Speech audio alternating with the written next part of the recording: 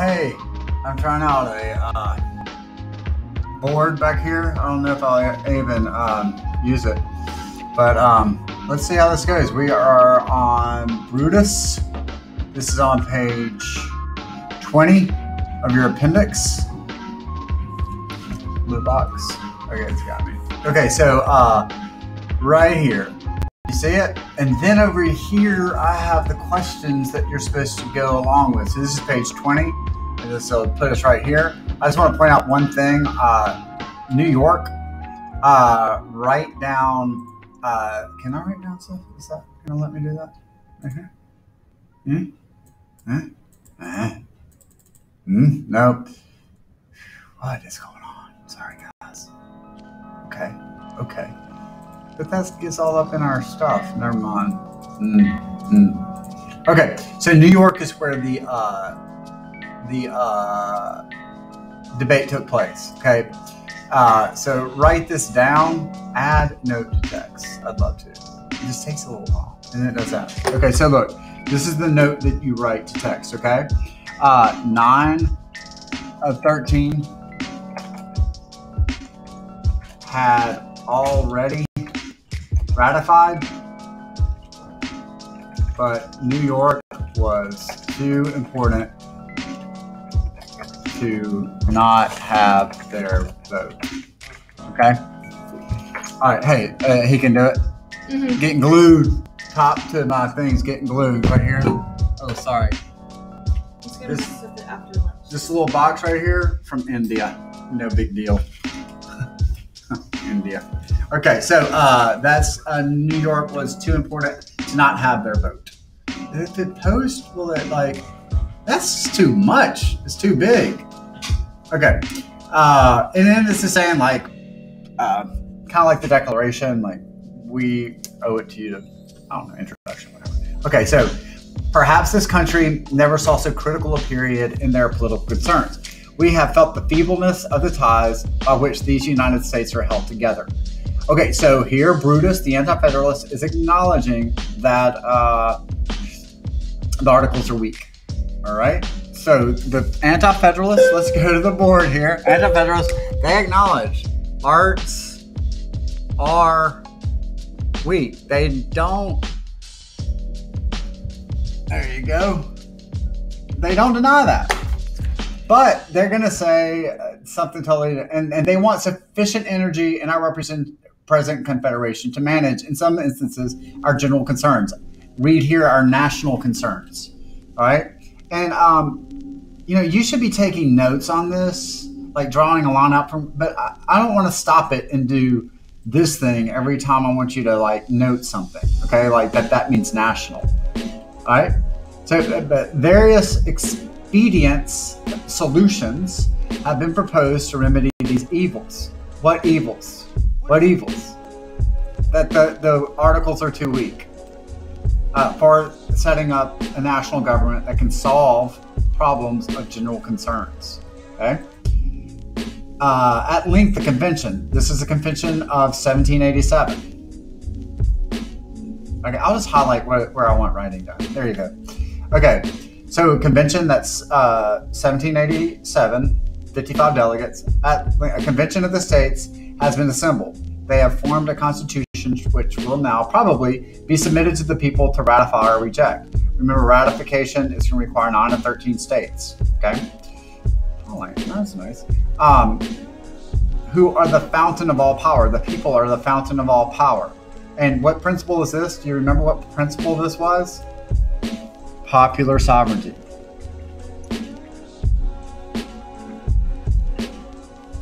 I feel good when I spell the word sovereignty right. No, nailed it. Come on, man, move out the way. Okay. Okay. Okay. So, uh, fountain people are the fountain of all power. That means that people are ultimately in charge. Popular sovereignty.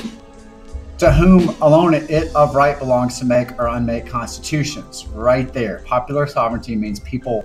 The foundation rests on the people or forms the government at their pleasure. The most important question that was ever proposed to your decision or to the decision of any people under heaven is before you, and you are to decide upon it by men of your own election, chosen specifically for this purpose. Okay, men by your own. Okay, what we're talking about here are uh, we're talking about state conventions. Where can I show comment out? Mm, Is that what's that? I just screwed up. Man, it's got me stuck now. Ah, it's opening something. Oh, it's opening an app or something. Wait, what's that? Whatever. Oh, that's what that is. Okay, so men of your own election, state conventions, state conventions, write that there. If the Constitution offered to your acceptance be a wise one, calculated to preserve the invaluable blessings of liberty, to secure the inestimable rights, or are we 14? What problems is Brutus referencing? The weaknesses that con- constitute the co- Articles of Confederation. All right, let's skip down. Um, what are we? 2039. Momentous then is the question. Momentous then is the question you have to determine, and you are called upon by every motive which should influence a noble and virtuous mind to examine it well and to make up a wise judgment. It is insisted, indeed, that this Constitution, this Constitution, must be received, be it ever so imperfect. It has defects, it is said, they can be best amended when they are experienced. But remember, the people once part with power, they can sell them or never resume it again. Okay. Uh, you need to note right here, what is it, 21 through 3? Right here, that, that this corresponds to this one. And what Brutus is, is referencing here is the Federalists are saying we gotta we gotta hurry up.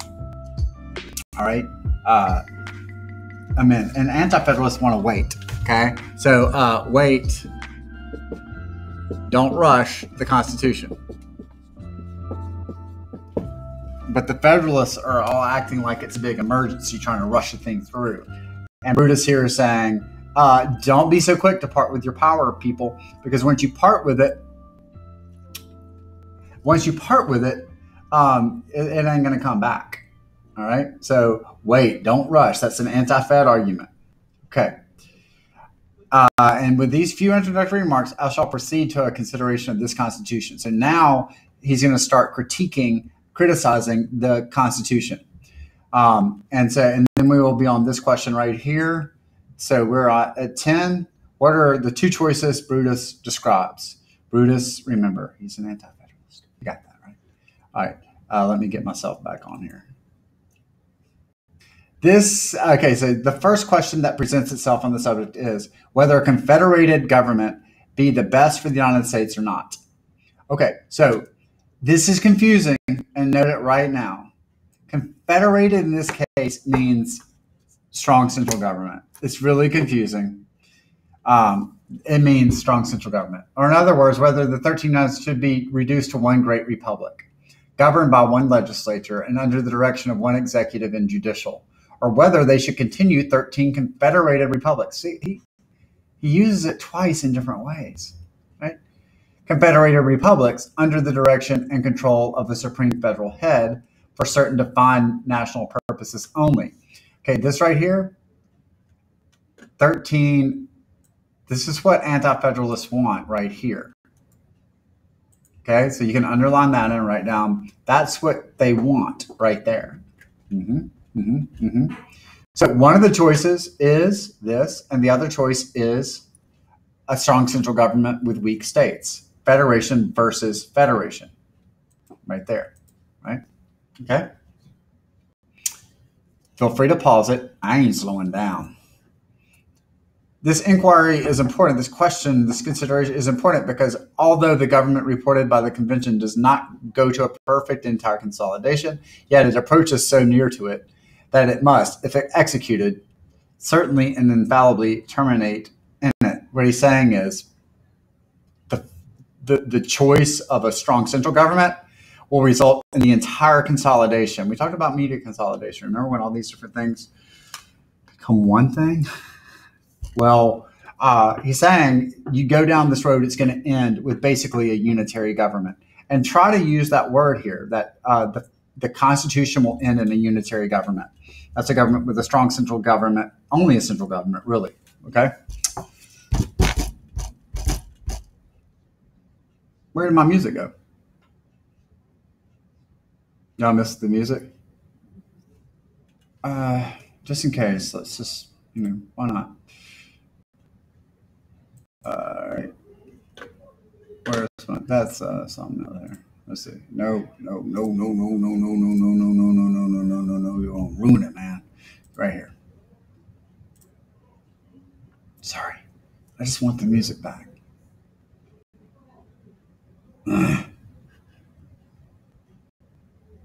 This was a mistake. Come on, YouTube.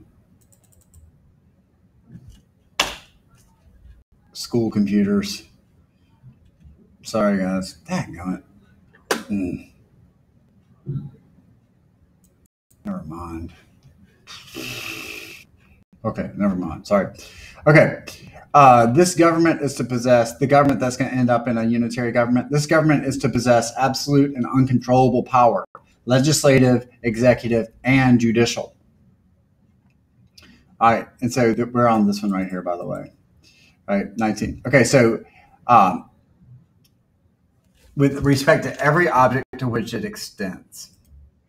For by the last clause of Section 8, Article 1st, it is declared that the Congress shall have power to make all laws which shall be necessary and proper carrying execution of foregoing powers and all other powers vested by this Constitution in the government of the United States. And it, so, what clause, what part of the Constitution is he referencing here? Huh? His first big objection is they hate the elastic clause, which is, you know, the necessary and proper clause. Okay, and it's it's found at the end of section eight of article. Shoot, section eight, article one. That's not how you write that, but there should be article one, section eight, and this is where you find the delegated slash express powers.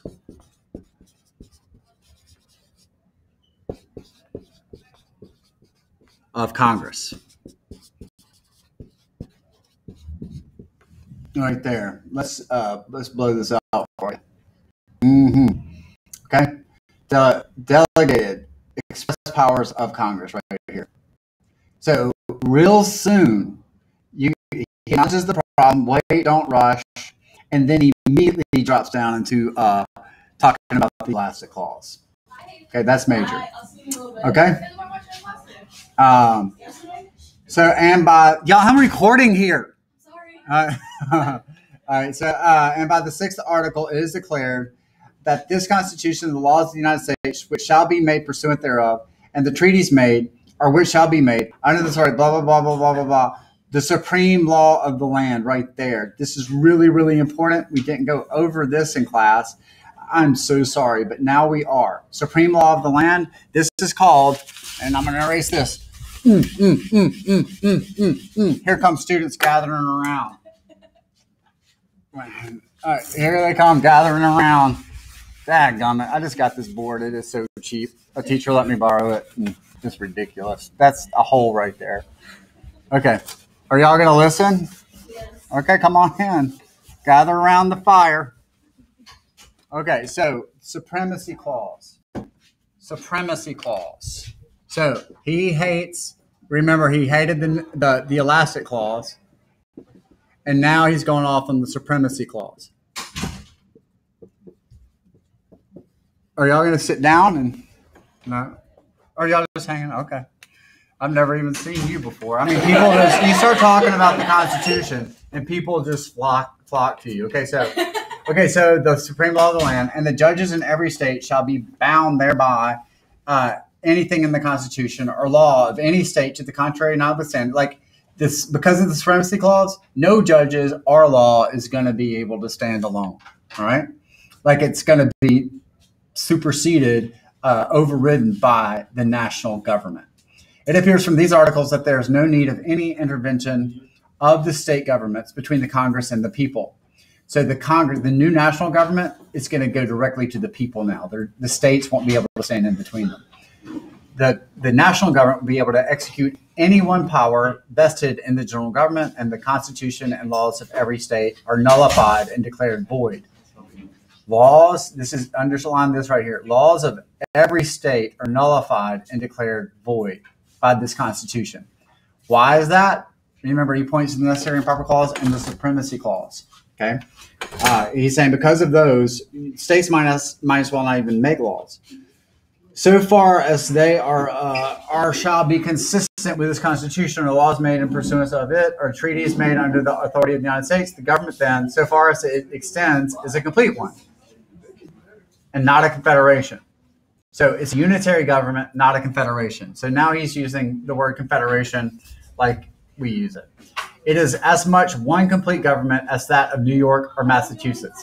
Like he's basically saying the national government, the states are more like counties now.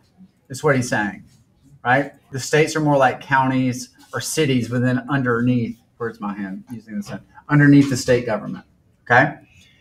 Uh, and this national government will have absolute and perfect powers to make and execute all laws, to appoint officers, institute courts, declare offenses, and annex with respect to every object, which they'll do everything. So far, therefore, as its powers reach, all ideas of confederation are given up and lost. All ideas that the states have independence, that they have sovereignty, is lost. Okay? States are over. It is true this government is limited to certain objects. Okay, so what it's saying is it does. He's referring to, and let's let's write this down. Okay. Uh, note. Add note to text. What he's saying is, uh, the Constitution does delegate slash express slash list powers. He's saying that doesn't matter. Why? I'll tell you why right there. You can list all you want, post offices, armies, navies, all that, but it doesn't. It doesn't matter.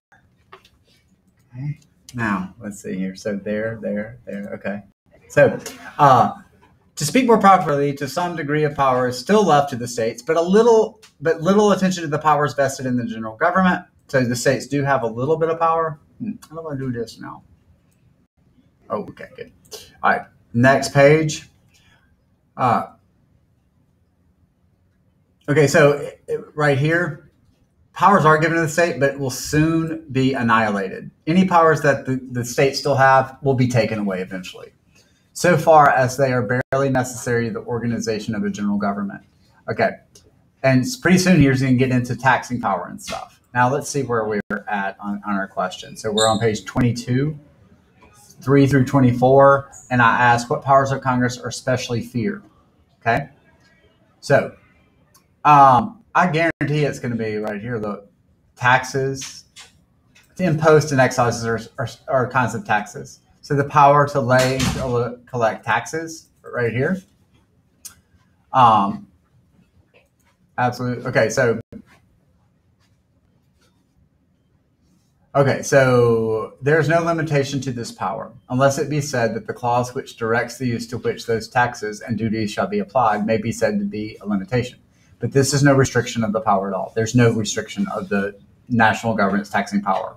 For by this clause, that's the taxing clause. You can find it in Article 1, Section 8, the taxing clause. Okay? Uh, they are to be applied to pay the debts. Remember, the national government gets debts now. So uh, note that.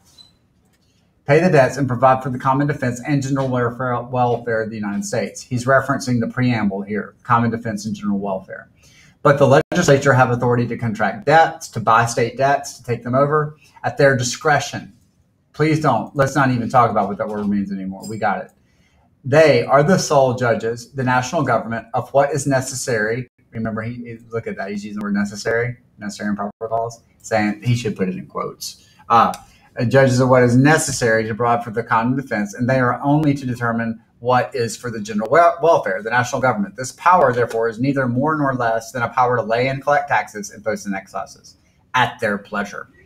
not only the power to lay taxes unlimited as to amounts they may require. So not only do they have, they can determine the amount, but it is perfect and absolute to raise them in any mode they please.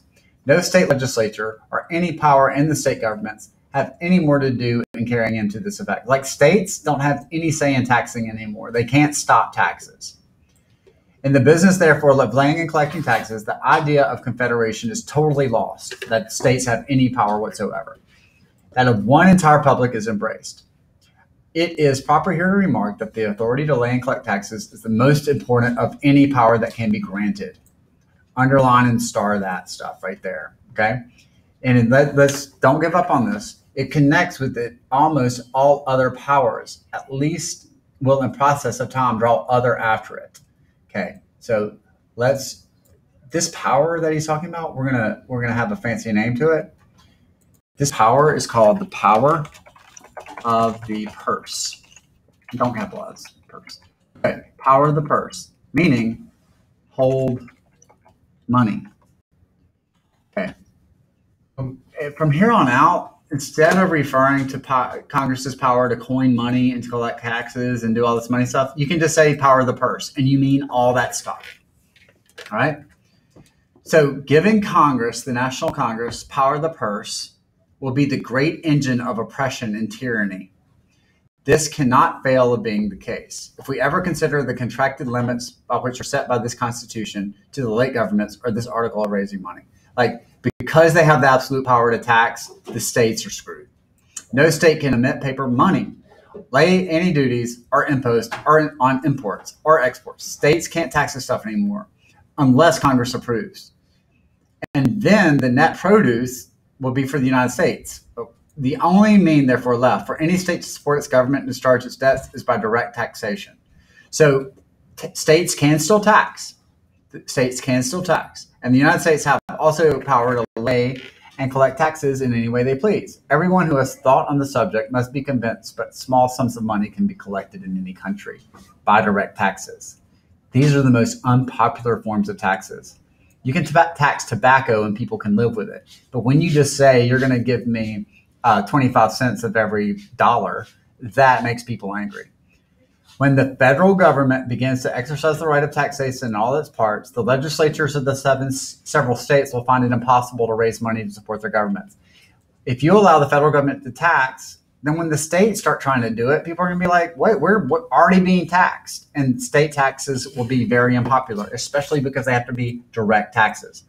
Without money, they cannot be supported, and they must dwindle away as they, the states, must dwindle away as before observed. Their power is absorbed in that of the general government, and that gets us down to this right here. You can summarize that there, and in the next podcast, uh, we'll pick up, and we've gotten halfway through this uh, document here.